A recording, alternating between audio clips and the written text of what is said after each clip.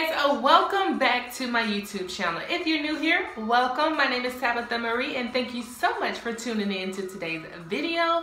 So today we are going to be testing out the new Wet n Wild Photo Focus Foundation Stick. I waited until it came to my local Walgreens store and they are super affordable. I love the packaging on here. This retails for only $5.99. I picked mine up in the shade Almond. And here is what Almond looks like. Here is the swatch. And Almond is described as a neutral medium deep neutral undertone. And I really think that this is going to be a good match for me. So without further ado let's go ahead and jump uh, right into the demo part. From Wet n Wild I also picked up this lip scrub. So right here pull it off. I love the smell of it. And it actually tastes pretty good too and basically you just massage it on your lips. It has like a nice glossy moisturizing feel. I wouldn't say glossy but it has a moisturizing feel to it. So you're not only exfoliating your lips but you're also putting some moisture back into them. Oh. and the excess. Ugh, my lips look so nice. Let me come in all right, so let's go ahead and get into this foundation review.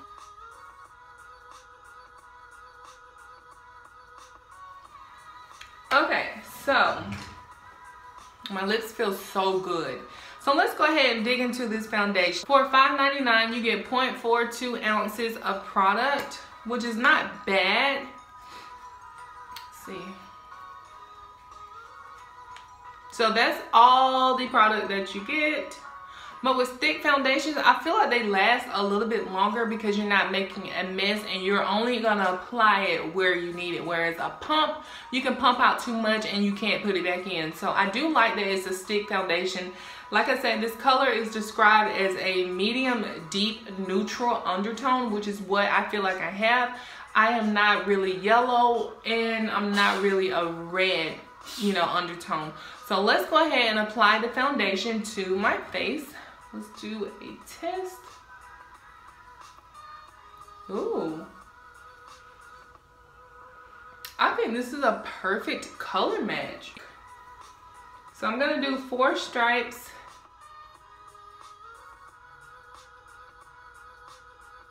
I like to use a brush for my foundations.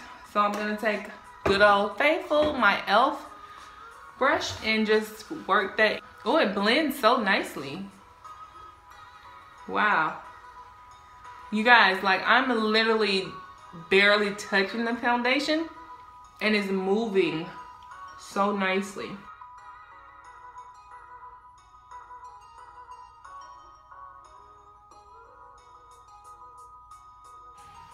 Oh my gosh. The coverage. The coverage though. Oh, mmm. I don't know, guys. So this is my without the foundation. And this side, I'm looking in the mirror over here and I am shook. Oh my gosh. It's a little bit darker. So I'm to put some on my ear to make sure it's blending in. And make sure you get like right here on the side of the neck. So when you turn, you don't have like a big old line of demarcation between your foundation and neck. But I am excited. Woo! Come through Wet n Wild. Ow. All right, let's do the other side. I'm so excited, y'all.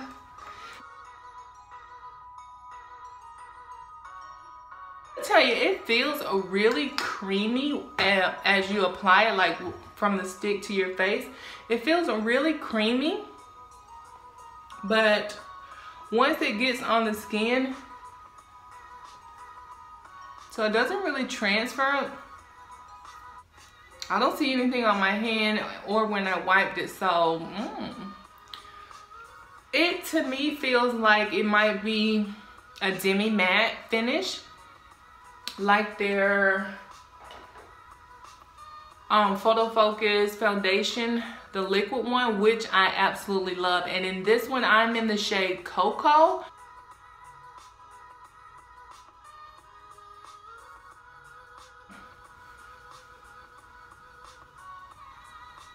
Oh, I'm in love. The coverage on here is so good. Like I can't even see my hyperpigmentation that normally comes through right here. With certain foundations, I have to layer on more. Or like I have a few spots, like scars. I know it's here and like here, but I literally cannot see them. OMG. Let me just come in a little closer. I'm shook. Like, yes, Wet n Wild. All right, so I do have a new concealer that I have been using in my videos like crazy, but I haven't really talked about it very much. So I'm gonna go ahead and include this in the video. This is the new e.l.f. 16 hour camo concealer. Here's the packaging, very nice and sleek. Um, and I have it in the shade Deep Olive, and I have been in love with this freaking concealer. I have been using it more than my NYX Can't Stop, Won't Stop, and that is my baby. But this dries down so nicely. It's so blendable, so buttery, so creamy. The color is great. I love this nice big applicator. Look at that. So I'm gonna go ahead and conceal. All right guys, so I'm back with my makeup on. So let me say this, this foundation stick definitely worth the money. It blended well with my other other products my concealer my cream contour my powders. The foundation did not move around.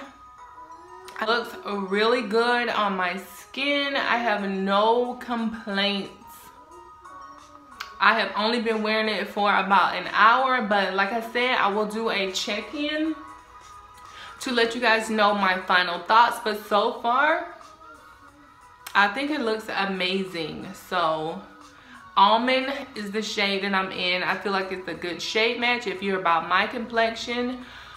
And I will see you guys when I check in later.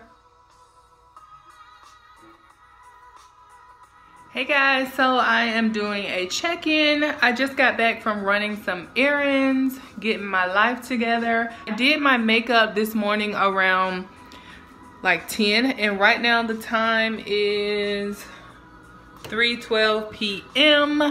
and I feel like it's looking good.